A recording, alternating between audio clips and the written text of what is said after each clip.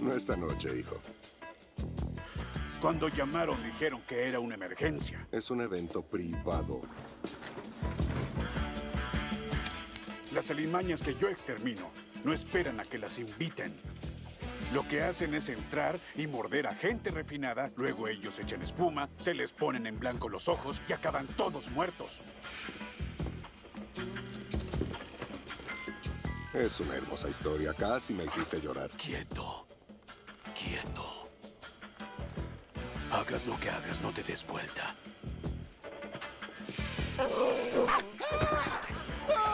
¡No te quedes ahí! ¡Entra y sácala de ahí!